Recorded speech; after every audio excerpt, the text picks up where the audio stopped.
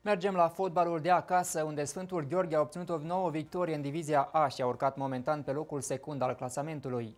Liderul Șerif 2 și-a permis luxul de a suferi a doua înfrângere în actuala stagiune.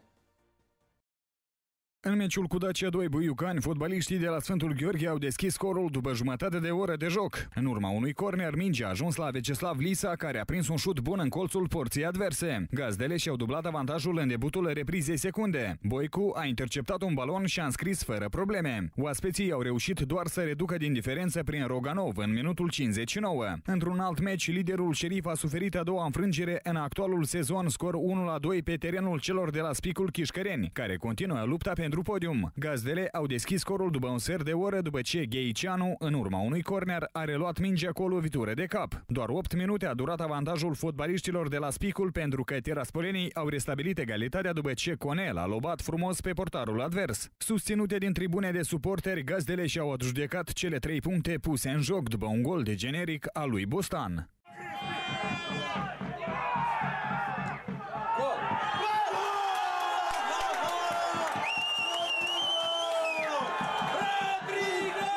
În clasament, lider a rămas Șerif 2, urmate de Sfântul Gheorghe și Spicul, dar ierarhia poate suferi schimbări după încheierea tuturor partidelor din etapa a 23-a din divizia A.